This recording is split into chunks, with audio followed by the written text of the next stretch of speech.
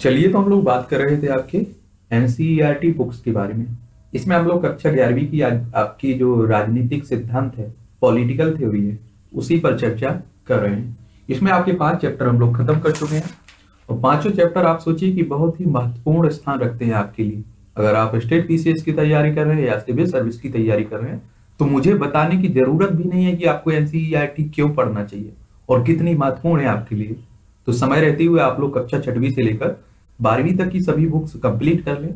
और याद रखिए, मुझे ऐसा कोई शब्द नहीं दिखा अभी तक जो आपको समझाने की इसमें ज़रूरत पड़े। आप अपने आप से भी एनसीईआरटी बुक्स को कवर कर सकते हैं। इसमें आपको किसी की कोई मदद की ज़रूरत नहीं पड़ेगी। बहुत ही साधारण शब्दों में लिखी गई है। ठीक है? लेकिन एक बार विस्तार से ज़रूर पढ़ लें, एक से दो बार। क्योंकि आप लोग क्या करते हैं कि शॉर्ट नोट्स देखने में ध्यान देते हैं। कि एनसीईआरटी के भी शॉर्ट नोट्स मिल जाए और हम उनसे भी पढ़ लें। तो ऐसा मत करिएगा। पहले आप लोग विस्तार से पढ़ लीजिए, एक से दो बार, फिर शॉर्ट नोट्स बना के पढ़ते रहिए। अगर नागरिकता की बात करें अगर हम लोग तो आप देखते होंगे कि संविधान में, हमारे संविधान में नागरिकता शब्द का कोई एक तरह से परिभाषा नहीं दी गई है। आप जानते हैं। लेकिन संविधान के भाग दो में आपको देखने को मिलेगा कि अनुच्छेद पाँच से लेकर ग्यारहवें, ग्यारह तक, इसमें आपको एकल नागरिकता का प्रावधान रखा गया है। एकल नागरिकता का कहने का मतलब यह है कि आपकी भारतीय नागरिकता हो गई। अमेरिका जैसा नहीं है कि अमेरिका में स्टेट की अलग होती है। सेंट्रल की एक तरह से अलग है नागरिकता। वहाँ दोहरी नागरिकता का प्रावधान है। लेकिन हमारे यहाँ एक ही का है, ठीक है? हमारे राज्यों की कोई नागरिकता नहीं है। और एक बात, जनसंख्या और नागरिकता में भी फ़र्क होता है। जनसंख्या में आप देखते होंगे कि बाहरी लोगों को भी काउंट कर लिया जाता है। जो विदेशी हैं, उन्हें भी हम लोग जोड़ लेते हैं। आप देखते होंगे, जनगणना अधिकारी आता है तो आपसे पूछ लेता है कि कितने लोग हैं आपके घर में? कितने बच्चे हैं? कितनी महिलाएँ कितने पुरुष हैं? और वोटर आईडी या कोई भी नहीं माँगता है वो। वो केवल मौखिक पूछ लेता है आपसे और काउंट करके चला जाता है। लेकिन सिटीजन में यानी कि आप कहिए कि नागरिकता में आपको अपने कार्ड कोई जो भी नागरिकता साबित कर सके कि आप भारतीय नागरिक हैं, वो आपको साबित करना होगा। मैं कहता हूँ, देखिए, मेरा ऐसा मानना है स्वयं का कि वोटर कार्ड काफ़ी होना चाहिए। क्योंकि आप सोचिए कि अगर हम नेता चुन सकते हैं उस वोट से तो भारतीय नागरिक क्यों नहीं होना चाहिए? क्यों नहीं हो सकते? अब कई लोगों का तर्क है कि वो फर्जी बनवा लेते हैं लोग। तो देखिए, ये अलग प्रॉब्लम है। लेकिन इतना होना चाहिए क्योंकि देखते हैं, कई जगह आप देखते हैं, बाढ़ में बह जाते हैं। कई लोग आप, अपना जन्म तिथि याद नहीं होती है, वो कहाँ से कर पाएँगे? तो ये भी प्रॉब्लम देखी जाती है। चलिए, नागरिकता पर एक विस्तार से बात कर लेते हैं हम लोग, क्योंकि अभी आपने देखा है, काफ़ी चर्चा में बना हुआ है। हमने अपनी बात नागरिकता की सुप्रसिद्ध परिभाषा से शुरू करें कि नागरिकता एक राजनीतिक समुदाय की पूर्ण और समान सदस्यता है। इस अध्याय में हम यह छानबीन करेंगे कि आज नागरिकता का सही सही अर्थ क्या है। इसके बाद हम उन बहसों और संघर्षों पर दृष्टिपात करेंगे, जो पूर्ण और समान सदस्यता की व्याख्या के संदर्भ में चल रहे हैं। अगले परिच्छेद में नागरिक और राष्ट्र के बीच संबंध तथा विभिन्न देशों में स्वीकृत नागरिकता की कसौटी पर हम लोग चर्चा होगी। नागरिकता के नागरिकता के लोकतांत्रिक सिद्धांतों का निहितार्थ है कि नागरिकता सार्वभौम होनी चाहिए।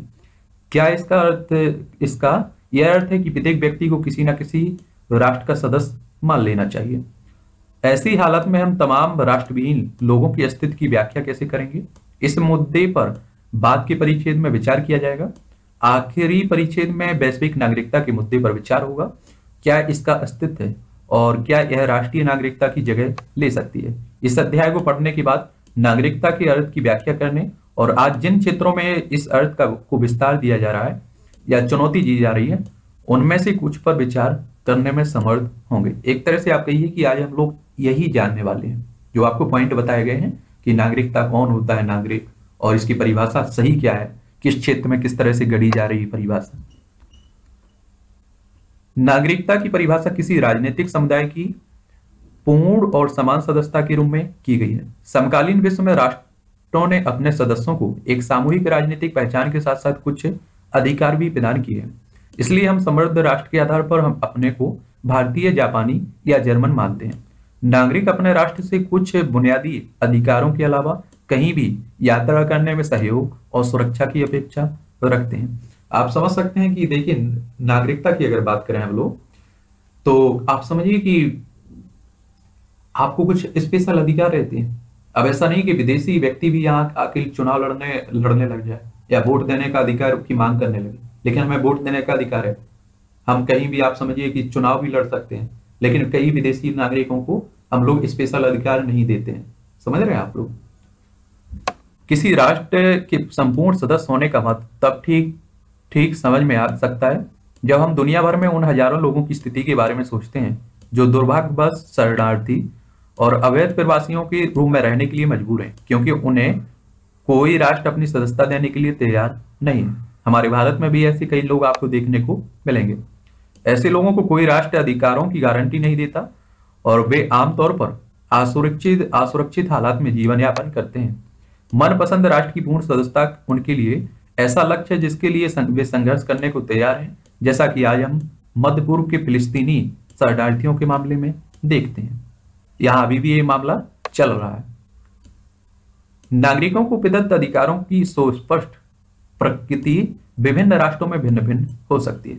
लेकिन अधिकतर लोकतांत्रिक देशों ने आज उनमें कुछ राजनीतिक अधिकार शामिल किए हैं। उदाहरण के लिए आप देख सकते हैं मतदान, अभिव्यक्ति या फिर आस्था की आज़ादी जैसे नागरिक अधिकार और न्यूनतम मजदूरी या शिक्षा पाने से जुड़े कुछ सामाजिक आर्थिक अधिकार, अधिकारों और प्रतिष्ठा की समानता नागरिकों के बुनियादी अधिकारों में से एक है। आप समझिए कि देखिए, जनसंख्या को कभी भी आप मत कहिए कि पूरी तरह से अधिकार दिए जा सकते हैं। जो भारतीयों को एक तरह से भारतीय हैं, नागरिक हैं, उन्हें जो अधिकार मिलते हैं, वो सभी लोगों को, बाहरी लोगों को नहीं दिए जा सकते। समझ रहे हैं आप लोग? नागरिक आज जिन अधिकारों का प्रयोग करते हैं, उन सभी को संघर्ष के बाद हासिल किया गया है। जनता ने अपनी स्वतंत्रता और अधिकारों को मुखर करने के लिए कुछ प्रारंभिक संघर्ष शक्तिशाली राजतंत्रों के खिलाफ छिड़े थे। अनेक यूरोपीय देशों में ऐसे संघर्ष हुए हैं। उनमें से कुछ हिंसक संघर्ष थे, जैसे सत्रह सौ नवासी की फ्रांसीसी क्रांति। ये टॉपिक आपके लिए बहुत ही महत्वपूर्ण है, इसलिए बड़े विस्तार से इसे पढ़ लेना आप लोग। एशिया और अफ्रीका के अनेक उपनिवेशों में समान नागरिकता की मांग उपनिवेशिक शासकों ने, से स्वतंत्रता हासिल करने के संघर्ष का हिस्सा रही है। दक्षिण अफ्रीका में समान नागरिकता पाने के लिए अफ्रीका की आश्रित आबादी को सत्तारूढ़, गोरे अल्पसंख्यकों के खिलाफ लंबा संघर्ष करना पड़ा है। यह संघर्ष 1990 के दशक के आरंभ तक जारी रहा है। पूर्ण सदस्यता और समान अधिकार पाने का संघर्ष विश्व के कई हिस्सों में आज भी जारी है। अपने देश में महिला आंदोलन और दलित आंदोलन के बारे में पढ़ा हुआ। उनका उनका मकसद अपनी जरूरतों की ओर ध्यान आकृष्ट कर जनमत बदलना, साथ ही समान अधिकार और अवसर सुनिश्चित करने के लिए सरकारी नीतियों को प्रभावित करना है। एक बात आप लोग हमेशा याद रखिए, आज जो आपको अधिकार मिले हुए हैं, एक तरह से नागरिकता मिली हुई है। आप कुछ भी कर सकते हैं, कहीं जा सकते हैं, कोई संगठन बना सकते हैं, वोट कर सकते हैं, चुनाव लड़ सकते हैं, बोल सकते हैं आप लोग। तो आप इतना समझ लीजिए इतना आसानी से नहीं मिल गया अधिकार। इसके लिए आप देखेंगे कि कई लोगों ने अपनी बलिदानी दी है, कई लोगों ने अपनी जान गंवाई है एक तरह से। आज जो हम खेलने खाने में उम्र गुजारते हैं ना, उस समय कई लोगों ने आपके लिए एक तरह से अपनी जान दे दी, अपने आप को शहीद कर दिया देश के लिए। और अभी भी आप देखते होंगे कि कई जगह इस तरह के आंदोलन चल रहे हैं। दलितों के खिलाफ एक तरह से भेदभाव होता है, तब आंदोलन चलता रहता है। महिलाओं के खिलाफ जो भी होता है एक तरह से भेदभाव, उस पर भी आंदोलन चलते रहते हैं। ये आपको एक तरह से आप देखिए, जब भी कोई टॉपिक आप पढ़ रहे हैं, और अगर आपको लगता है कि समाज से जुड़ा हुआ टॉपिक है तो उसे आसपास से जोड़ ज़रूर लिया करिएगा। इससे क्या रहता है कि लंबे समय तक हम लोग एक तरह से उसे याद भी रख सकते हैं। और जब आंसर राइटिंग कर रहे होंगे, तब हमें और अच्छे से बेहतर आंसर लिखने में मदद भी होगी। क्योंकि एक हम समाज को भी देखकर एक तरह से लिखेंगे तो बड़ा मतलब प्रभावी होगा आंसर आपका। आपने देखा होगा कुछ समय पहले अमेरिका में गोरे और काले लोगों का भेदभाव होता रहता है। एक व्यक्ति की इसमें मौत भी हो गई थी, उसके बाद देखा भारी विरोध हुआ, आंदोलन का रूप ले लिया। अमेरिका में अभी भी आपको देखने को मिलेगा। जिस तरह हमारे देश में आपको महिलाओं के साथ या निचली जाति के साथ भेदभाव करते हुए दिखता है, उसी तरह अभी भी कई देशों में आपको इस तरह देखने को मिलेगा। नागरिकता सिर्फ़ राज्य सत्ता और उसके सदस्य, सदस्यों के बीच संबंधों का निरूपण नहीं, बल्कि उससे अधिक है। यह नागरिकों के आपसी संबंधों के बारे में भी है।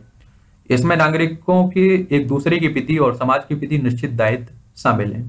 इसमें इसमें, इनमें सिर्फ़ राष्ट्र द्वारा थोपी गई कानूनी बाध्यता नहीं, बल्कि समुदाय के सहजीवन में सहजीवन में भागीदार होने और योगदान करने का नैतिक दायित्व भी शामिल होता है। नागरिकों को देश के सांस्कृतिक और प्राकृतिक संसाधनों का उत्तराधिकारी और न्यासी भी माना जाता है। किसी राजनीतिक अवधारणा को समझने का अच्छा तरीका उन उदाहरणों की पड़ताल करना है, जिनमें जाने माने अर्थों पर ऐसे समूहों द्वारा सवालिया निशान लगाया जा रहा है, जो महसूस करते हैं कि उनमें उनमें उनकी जरूरतों और आकांक्षाओं का ख्याल नहीं किया गया है। यहाँ भी कुछ आपके पॉइंट दिए गए इन्हें भी देख लेते हैं। सत्रहवीं सत्रहवीं से बीसवीं सदी के बीच यूरोप के गोरे लोगों ने दक्षिण अफ्रीका के लोगों पर अपना शासन कायम रखा था। आप समझिए, ये यूरोप की ही बात नहीं कर रहा हूँ, या अफ्रीका की ही बात नहीं कर रहा हूँ। हमारे भारत में भी आपने देखा, एक बहुत लंबे समय तक अंग्रेज़ों का राज रहा है। उसमें आपने देखा हुआ किस तरह से भेदभाव किया जाता था। और यही भेदभाव आगे जाके आपका राष्ट्रवाद में बदलता है। कि आप सोचिए कि दलितों का भी शोषण हो रहा है। आप सोचिए उचली जातियों का, ऊँची जातियों का भी शोषण हो रहा है। किसानों का भी। आप सोचिए कोई भी समूह नहीं छूटा हुआ था। महिलाओं का शोषण हो रहा है। तो आप समझिए कि जब सबका एक तरह से मंजिल एक ही थी रास्ते भली अलग अलग हो, क्योंकि शोषण सबका हो रहा था और आज़ादी सब कोई चाहता था। तो आप देखेंगे कि अठारह तक कोई एकता एकता नहीं थी, लेकिन वहाँ से आप देखेंगे एकता शुरू हुई और आगे जाके हम लोग सब एक हो गए और तब जाके हमें आज़ादी मिली। अगर अलग अलग हम लड़ते तो शायद कभी हम लोग आज़ाद नहीं हो पाते यह हकीकत है। उन्नीस सौ चौरानवे तक दक्षिण अफ्रीका में अपनाई गई नीतियों के बारे में नीचे दिए गए ब्यौरे को पढ़िए। सोवियत लोगों को मत देने चुनाव लड़ने और सरकार को चुनने का अधिकार था। वे संपत्ति खरीदने और देश में कहीं भी आने जाने के लिए स्वतंत्र थे। काले लोगों को ऐसे अधिकार नहीं थे। काले और गोरे लोगों के लिए पृथक मोहल्ले और काल, कॉलोनियाँ बसाई गई थी। काले लोगों को अपने पड़ोस के की गोरों लोगों की बस्ती में काम करने के लिए पास लेने पड़ते थे। उन्हें गोरों के इलाके में अपने परिवार रखने की अनुमति नहीं थी। अलग अलग रंग के लोगों के लिए विद्यालय भी अलग थी। क्या आश्वेत लोगों को दक्षिण अफ्रीका में पूर्ण और समान सदस्यता मिली हुई थी? कारण सहित बताइए। ऊपर दिया गया ब्यौरा हमें दक्षिण अफ्रीका में विभिन्न समूहों के अंतर संबंधों के बारे में क्या बताता है? आप बात एक समझ लीजिए। कि आप समझिए कि देखिए गोरे लोग मतलब आप सोचिए वहाँ नागरिक कौन थे? मैं नागरिक थे तो अफ्रीका अफ्रीका वाले। लेकिन ये लोग वहाँ जाकर एक तरह से बस गए थे वहाँ। क्या बस गए थे? बस गए थे। आप समझिए, ये हमारे देश में भी बात चलती है। कि हमारे यहाँ कहा गया कि संपत्ति जो आयकर देता, आय देता मतलब आय कर देता हो टैक्स देता हो, उसे ही एक तरह से वोट देने का अधिकार होना चाहिए। हमारे यहाँ बहुत पहले से इस तरह की मांग उठ रही थी, लेकिन हमारे जो भी स्वतंत्रता सेनानी थे, जो भी महान सैनिक, जो भी थे, महात्मा गांधी हो, फिर चाहे जवाहरलाल नेहरू, विवेकानंद हो, या कोई भी पंडित जब आप सोचिए, भीमराव अंबेडकर साहब हो, लोहिया साहब हो इन्होंने कभी इसके विरोध, इसके पक्ष में नहीं कहा। उन्होंने कहा, सबको अधिकार होना चाहिए, महिलाओं को भी वोट देने का अधिकार होना चाहिए। आज आप परिस्थिति को, उसको सोच सकते हैं कि मान लीजिए अगर आयकर जो देता हो, कर देता हो, उसी को अगर अधिकार होता वोट देने का तो आज हमारे लोगों के साथ जो इस तरह से भेदभाव किया जाता है, ये बहुत बुरी तरह से उन्हें अभी भी भेदभाव कर रहे होते अभी तो कम से कम आप सोचिए कि पाँच साल में आपके विधायक साहब आपके दरबार आ जाते हैं, सरपंच साहब आपके दर्शन कर लेते हैं। लेकिन एक पल आपके लिए आप सोच सकते हैं कि अगर आपको वोट देने का अधिकार ना होता तो आपकी कौन सुनता? कोई नहीं सुनता। समझ रहे तो ये अधिकार नहीं मिले हुए थे। आप सोचिए कि वहाँ क्या ज़िंदगी रहती होगी। ना तो आप देखेंगे कि वोट देने का अधिकार है। समझ रहे हैं? और ना आप देखेंगे वहाँ रहने के लिए संपत्ति खरीद नहीं सकता, चुनाव भी नहीं लड़ सकता है सरकार को चुन भी नहीं सकते हैं आप लोग। फिर उसका मतलब क्या रह गए एक तरह से बंधुआ मजदूर हो गए। आओ कुछ करके सीखें। अपने क्षेत्र के नागरिकों की गतिविधि के कुछ वैसे उदाहरण के बारे में सोचें, जो दूसरों की मदद करने अथवा क्षेत्रों की, क्षेत्र की उन्नति या फिर पर्यावरण की रक्षा से संबंधित हो। ऐसी कुछ गतिविधियाँ की सूची बनाएँ, जो आपके हाँ आपकी हम उम्म युवाओं द्वारा अपनाई जा सकती हैं। आप समझिए, हमारे अगर नागरिकता का प्रावधान, बाहरी लोगों से हम उम्मीद नहीं कर सकते हैं कि देश की एकता, अखंडता और शांति को बनाए रखें। अगर विदेशी कोई यहाँ रह रहा है तो उससे हम उम्मीद नहीं कर सकते। लेकिन जो हमारा नागरिक होगा, उससे हम ज़रूर उम्मीद करेंगे कि वो हमारी पर्यावरण की सुरक्षा करे। नदियाँ, जो भी सरकारी संपत्ति है, उनकी रक्षा करे। इसीलिए आप देखते हैं कि मौलिक कर्तव्य दिया गया। मौलिक कर्तव्य का सीधा सा मतलब यही है कि आपको कुछ अधिकार भी हैं तो आपके कुछ कर्तव्य भी हैं। उन्हें भी आप लोग समझिए। संपूर्ण और समान सदस्यता की बात करें, अगर आपने कभी भीड़ भरे रेल के डिब्बे में बस बस में सफ़र किया। है तो आप इस चलन से अवगत होंगे कि वे लोग, जो प्रवेश पाने के लिए पहले शायद एक दूसरे से लड़ रहे, पड़े थे, अंदर पहुँचते ही दूसरों को बाहर रखने के साझी स्वार्थ में शामिल हो जाते हैं। जल्दी भीतरी और बाहरी का विभाजन उभर आता है और बाहरी को खतरे के रूप में देखा जाने लगता है। इस तरह की प्रक्रियाएँ समय समय पर नगरों, विदेशों या कभी कभार तो पूरे राष्ट्र में चलती है। अगर आजीविका, चिकित्सा या शिक्षा जैसी सुविधाएँ और जल ज़मीन जैसी प्राकृतिक संसाधन सीमित हो तब बाहरी को लोगों, बाहरी लोगों के प्रवेश को रोकने की मांग, उठने की संभावना रहती है। भले ही वे सह नागरिक क्यों ना हो। आपको मुंबई मुंबई कर मुंबई वाले के लिए नारा शायद याद हो, जिससे ऐसी भावनाएँ प्रकट हुई। भारत और विश्व के विभिन्न हिस्सों में इस तरह के अनय, अनेक संघर्ष होते आए इसका अच्छा उदाहरण आपको मुंबई में देखने को मिलेगा। आपने देखा एक खास पार्टी क्या करती थी कि केवल कहती थी बिहार और मध्य प्रदेश, बिहार और उत्तर प्रदेश से आने वाले लोगों के लिए जगह नहीं है महाराष्ट्र में। महाराष्ट्र में वही महाराष्ट्र केवल महाराष्ट्र के लोगों के लिए ही है। तो इस तरह का भेदभाव आपको देखने को मिला होगा। ठीक है? इससे यह प्रश्न उठता है कि आखिर संपूर्ण और समान सदस्यता का असली अर्थ क्या है? क्या मतलब है? क्या इसका अर्थ यह होता है कि नागरिकों को देश में जहाँ भी जाने, चाहे रहने, पढ़ने या काम करने का समान अधिकार और अवसर मिलना चाहिए? क्या इसका इसका अर्थ यह है कि सभी अमीर गरीब नागरिकों को कुछ बुनियादी कार्य और सुविधाएँ मिलनी चाहिए। इस परिच्छेद में हम पहले इन प्रश्नों के आधार पर नागरिकता का अर्थ खोजेंगे और अपने देश और अन्य अनेक देशों में नागरिकों को प्रदत्त अधिकारों में में एक है गम नागमन की स्वतंत्रता। यह अधिकार कामगारों के लिए विशेष महत्व का है। गृह क्षेत्र में अवसर उपलब्ध नहीं होने के कामगार रोज़गार की तलाश में आप प्रवास की ओर प्रवृत्त होते हैं। यानी कि अपने शहर से दूसरे शहर जाते हैं। आप देखते हैं ग्रामीण जनसंख्या अधिकतर शहरों में इस काम के लिए जाती है। रोज़गार की तलाश में कुछ लोग देश के बाहर भी जाते हैं और हमारे देश के विभिन्न हिस्से में कुशल और अकुशल मजदूरों के लिए बाज़ार विकसित हुए हैं। उदाहरण के लिए सूचना तकनीकी के अधिकतर कर्मी बंगलोर जैसे शहरों की ओर उमड़ते हैं। केरल की नर्सें पूरे देश में कहीं भी मिल सकती हैं। शहरों में तेज़ी से पनपता पनपता भवन निर्माण उद्योग देश के विभिन्न हिस्सों के श्रमिकों को आकर्षित करता है। सड़क आदि आधारभूत संरचनाओं की परियोजनाओं में भी यही है, होता है। आपने अपने घर या स्कूल के आसपास विभिन्न क्षेत्र में मजदूरों को देखा भी होगा। एक बात और आपको बताऊँ यहाँ। केरल वो राज्य है जिसमें आप देखेंगे स्वास्थ्य व्यवस्था में देख लीजिए, महिलाओं की स्थिति में देख लीजिए साक्षरता में देख लीजिए। आप समझ रहे हैं? बेहतर स्थिति है उसकी। इसीलिए आप देखेंगे कि केरल के डॉक्टर आपको देश भर में देखने को मिलेंगे। और आप सोचिए कि अगर आपको मजदूरों की हालत देखनी है तो उत्तर प्रदेश, बिहार और मध्य प्रदेश को देखिए। यहाँ के मजदूर आपको हर शहर में मिल जाएँगे काम करते हुए। तो यहीं से आपको फ़र्क दिखता है कि पढ़े लिखे होने का और अनपढ़ होने का कितना नुकसान है।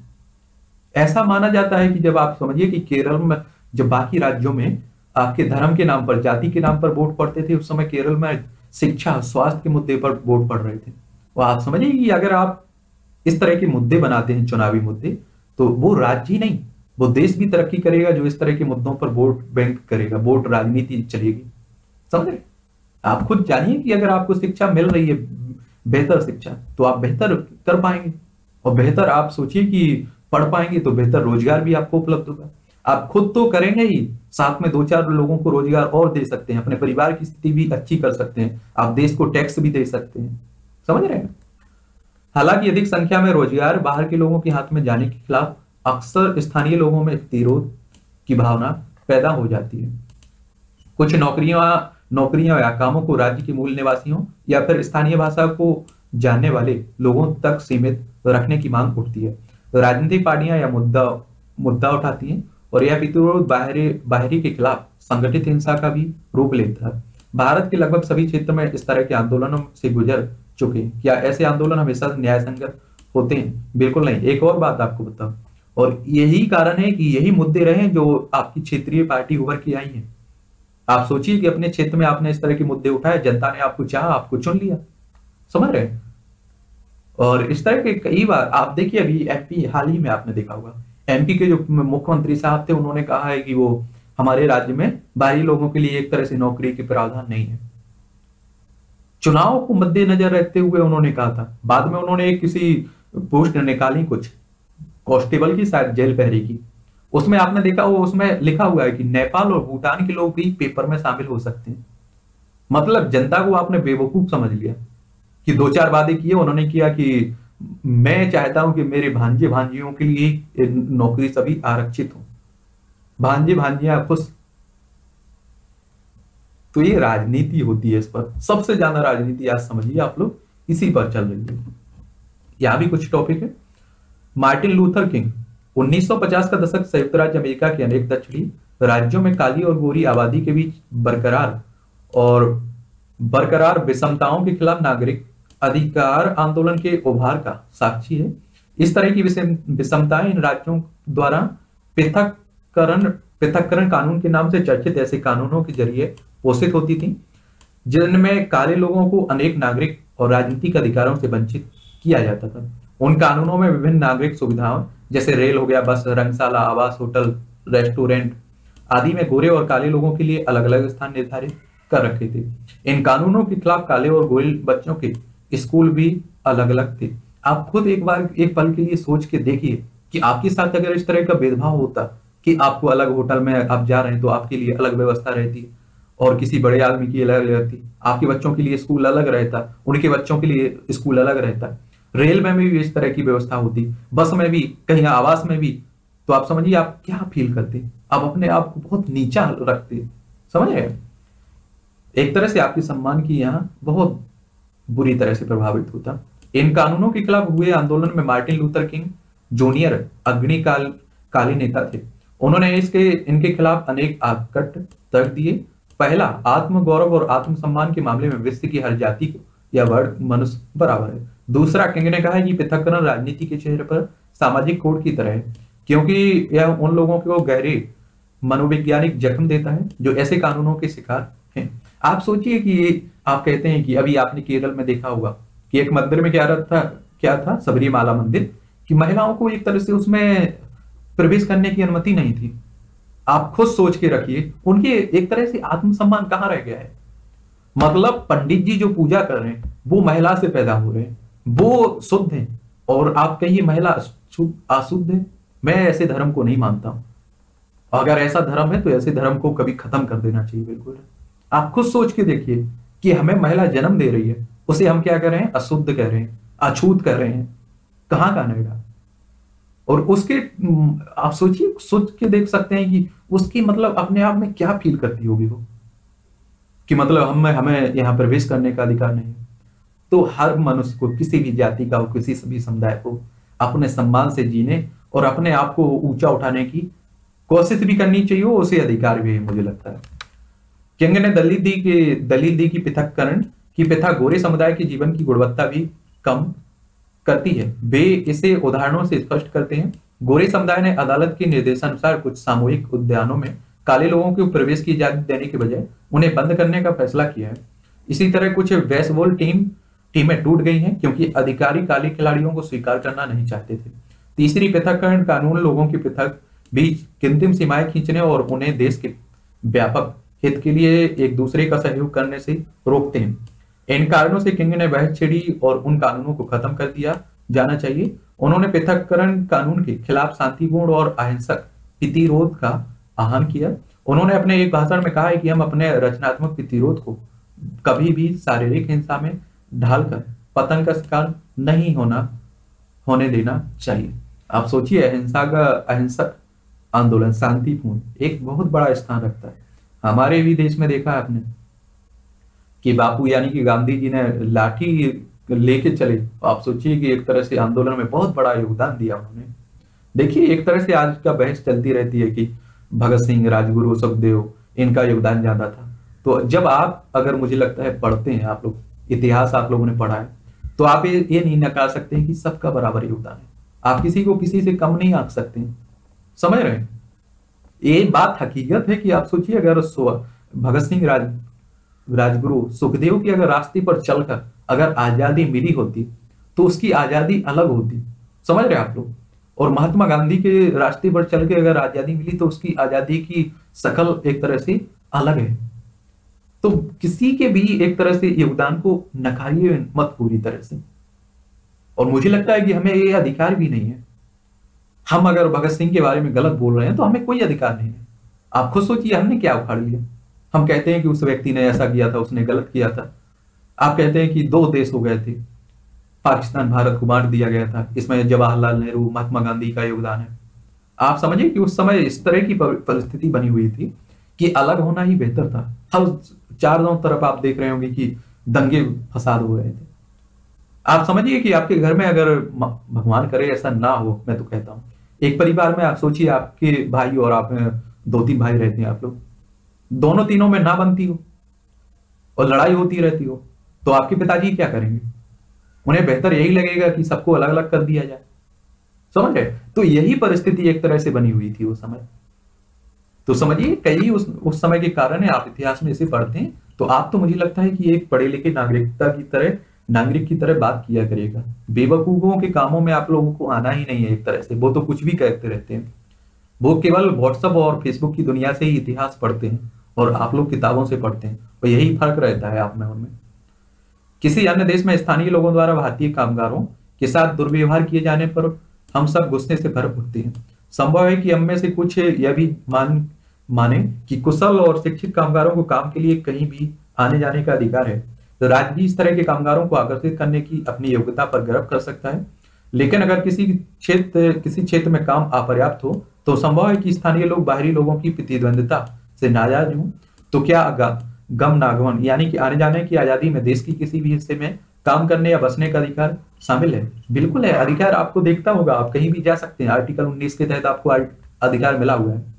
एक अन्य बात पर हमें विचार करने की ज़रूरत है और वह है कि यह गरीब यह कि गरीब प्रवासी और कुशल प्रवासी को लेकर कभी कभी हमारी प्रतिक्रिया में अंतर हो, होता है।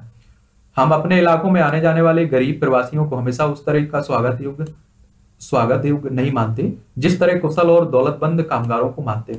इससे प्रश्न उठता है क्या गरीब और अकुशल कामगारों को कुशल कामगारों की तरह देश में कहीं भी रहने और काम करने का समान अधिकार है? देश के सभी नागरिकों की पूर्ण और समान सदस्यता से संबंधित एक कुछ ऐसे मुद्दे हैं जिन पर आज हमारे देश में बहस चल रही है। आप लोगों को एक और बात बताऊँ। ये तो आप सामान्य जानकारी है कि अमीर का हमेशा आप पैसे में है, आपके पास तो हज़ार लोग पूछेंगे, भाई, कुछ मदद चाहिए आप लोगों को? हकीकत तो उस समय मालूम चलती है जब आप प्रॉब्लम में फंसे हुए समस्याओं से घिरे हुए उस समय आपका कौन साथ दे रहा होता है? सही वक्त में तो आप देखिए कि आपसे कहेंगे, जान दे सकता हूँ, ये दे सकता हूँ, वो कर सकता हूँ। लेकिन हकीकत जब टाइम आता है इस तरह का तो आप सोचिए, जान देने की छोड़िए लोग साथ भी नहीं देते हैं। साथ देने की छोड़िए लोग पीछे भी खींचते हैं। तो इसलिए आप लोग सक्सेस हो जाइए। हर कोई आपको सम्मान करेगा। और ऐसे आप लोग हकीकत समझ लीजिए, कोई भरोसा प्यार म्यार लगाव कुछ नहीं होता है। सब दौलत होती है। समझ रहे हैं? ये हकीकत है, चाहे माने आप ना माने शायद मुझे लगता है। और एक बात और। आप देख रहे हैं कि एमपी हो या कोई भी राज्य हो, इस तरह के मुद्दे उठाते हैं तो आप देखते होंगे कि राजस्थान ने भी इस तरह का मुद्दा उठाया था कि अपने यहाँ सरकारी नौकरी में केवल नागरिकों को, अपने ही लोगों को, अपने राज्य के लोगों को एक तरह से पूर्ण संरक्षित कर दी थी, उन्हीं के लिए आरक्षित कर दी थी। तो आप समझ सकते हैं कि इसे सुप्रीम कोर्ट में चुनौती दी गई। उसके बाद जो भी राज्य का निर्णय था, उसे रद्द कर दिया गया। क्योंकि आप देखिए, आपको एक तरह से बाहरी लोग कहाँ से? फिर तो एक तरह से आपको ये कि क्षेत्रवाद या हो जाएगा कि आप सोचिए, राष्ट्रवाद का कोई मुद्दा ही नहीं रहेगा। समझ रहे हैं आप लोग? और ये देश की एकता अखंडता के लिए नुकसानदायक भी है। यूँ कभी कभी लोकतांत्रिक समाज में भी विवाद उठ सकते हैं। ऐसे विवादों का निदान कैसे हो प्रतिवाद करने का अधिकार हमारे संविधान में नागरिकों के लिए सुनिश्चित की गई। अभिव्यक्ति की स्वतंत्रता का एक पहलू है। वास्तव व प्रतिवाद दूसरे लोगों या राज्य के जीवन और संपत्ति को नुकसान नहीं पहुँचाए। नागरिक समूह बनाकर, प्रदर्शन कर, मीडिया का उपयोग कर, राजनीतिक दलों से अपील कर या फिर अदालत में जाकर जनमत और सरकारी नीतियों को परखने और प्रभावित करने के लिए स्वतंत्र है। अदालतों में उन पर, उस पर निर्णय दे सकती है या फिर समाधान के लिए सरकार से आग्रह कर सकती है।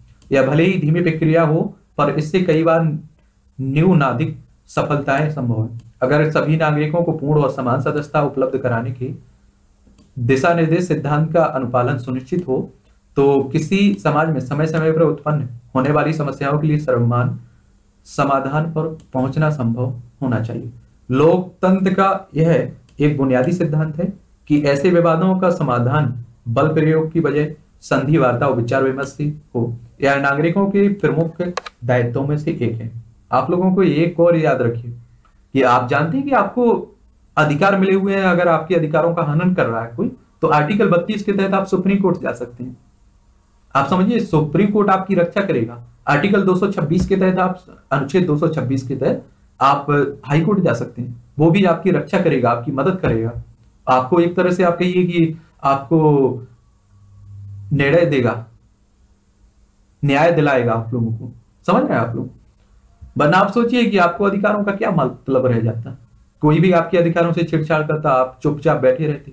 तो इसलिए आपको ये कुछ और भी प्रावधान रखे गए चिंतन मंथन। नागरिकों के लिए देश भर में आने जाने और रोज़गार की स्वतंत्रता के पक्ष और विपक्ष के तर्कों की तर्कों की पड़ताल करें। क्या किसी क्षेत्र में लंबे समय से रहने वाले निवासियों को रोज़गार सुविधाओं में प्राथमिकता मिलनी चाहिए?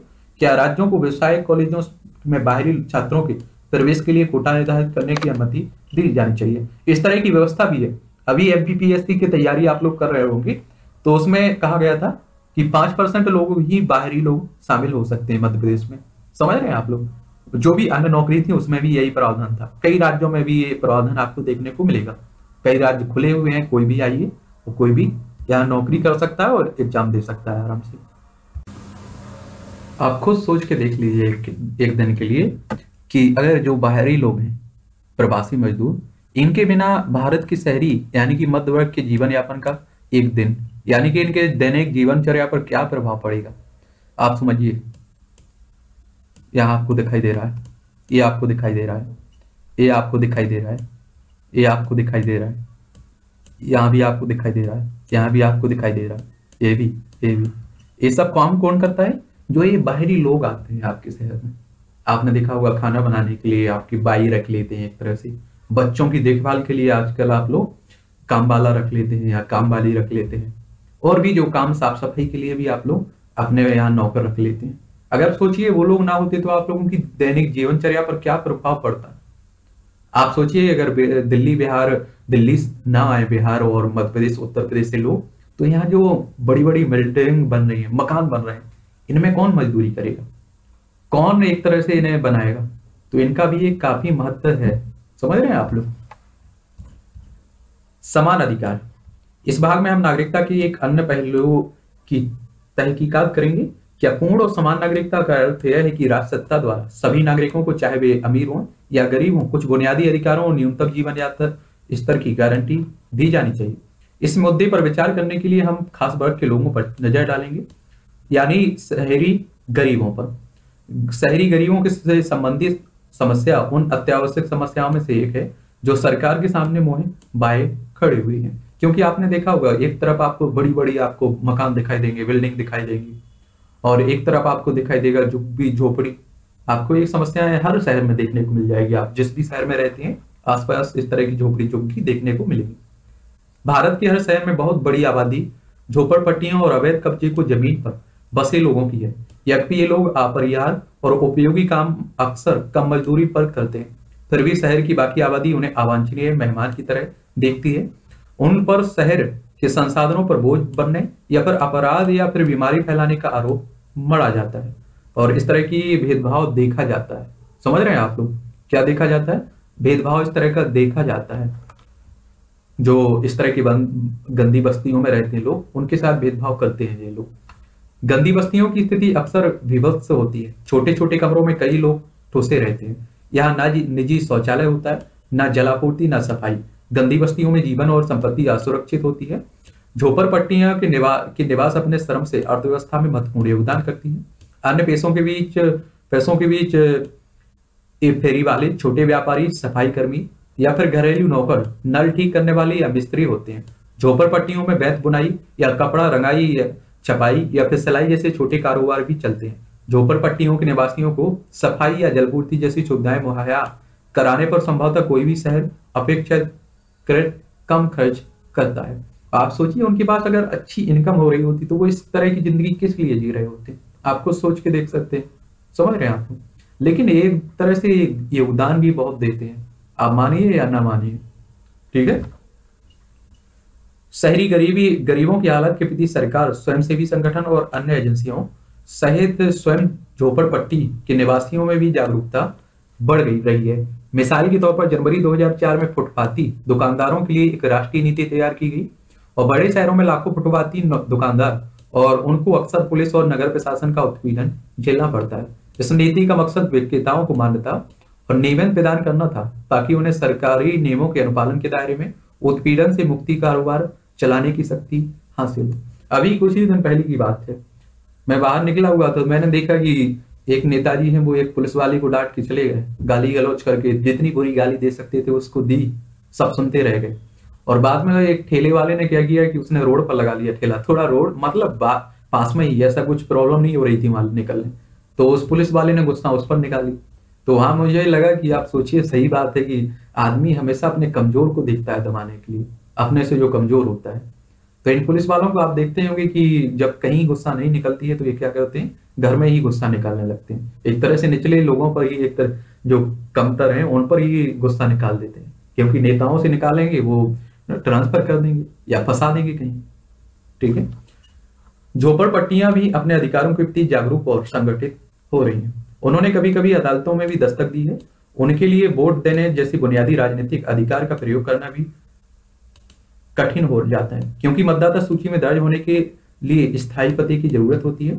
अनिधिकृत बस्तियों और पटरी पर रहने वाले बाले के लिए ऐसा पता पेश करना कठिन होता है। हमारे समाज में हाशिए पर ठेले जा रहे अन्य इंसानी समूह में आदिवासी और वनवासी शामिल हैं। ये लोग अपने जीवन यापन के लिए जंगल और अन्य प्राकृतिक संसाधनों पर निर्भर हैं।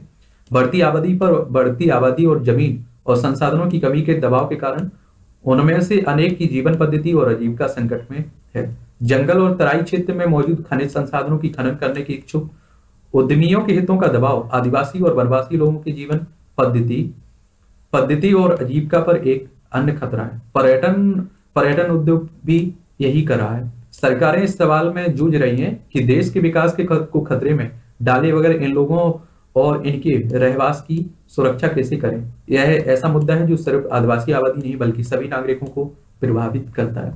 अभी अंडमान निकोबार में आप लोगों ने कुछ समय पहले सुना होगा कि एक अमेरिकी व्यक्ति की मौत हो गई थी, वहाँ मार दिया गया था, हत्या कर दी गई थी वहाँ के आदिवासी लोगों के द्वारा।